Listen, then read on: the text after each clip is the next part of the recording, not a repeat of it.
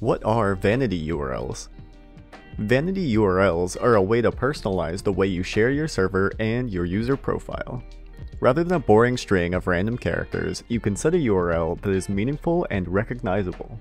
And the best part about them? They're completely free. To set a profile URL, go to Settings, and from the Overview page, click on Edit Account. Now, type in the URL here in this text field. To instead set a vanity URL for your server, go to your server settings. From here, in the overview page, find the URL field and type something great for your server. Now, both your profile or your server can be accessed quickly by going to guilded.gg slash your URL.